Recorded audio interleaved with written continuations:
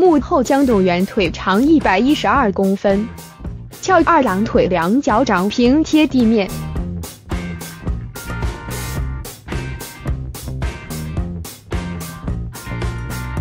江董源腿太长，翘脚脚掌平贴地面。图记者陈明安摄。二零一八年三月八日。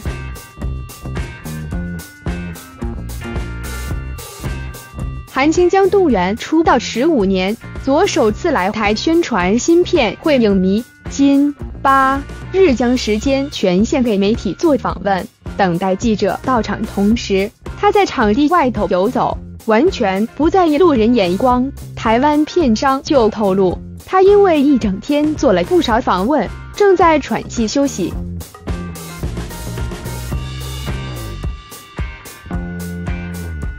而江董源比预定受访时间提早到会场准备，得知还有记者未到场后，他坦言没关系，坚持等全员到齐再开始工作。江董源接受联访时，见到其中一位记者满头大汗，关心询问对方需不需要面纸，笑说视线全被他脸上的水给吸引。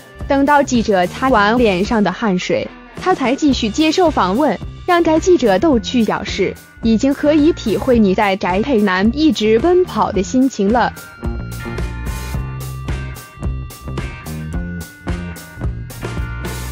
逗得全场笑开怀。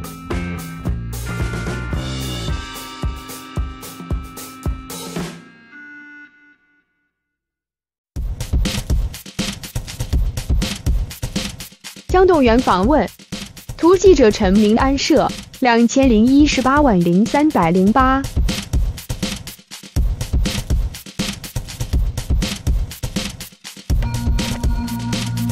其实今现场有四名记者，大家为了提问都会把握时间丢题目，从一人身上得到想知道的答案。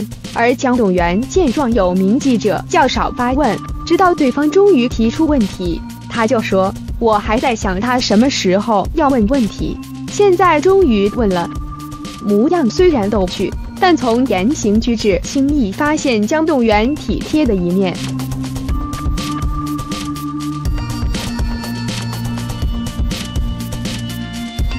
逗趣的是，身高一百八十六公分的江动员，双腿足足有一百一十二公分长，粉丝也曾在网络讨论。P.O. 照说，他每每在公开场合坐住时，翘脚的两脚掌都能平贴地面。江董源得知大家的疑问后，自己也不敢置信筋骨如此柔软，更直言与腿长无关，直接在现场瞧出照片中的动作，模样相当逗趣。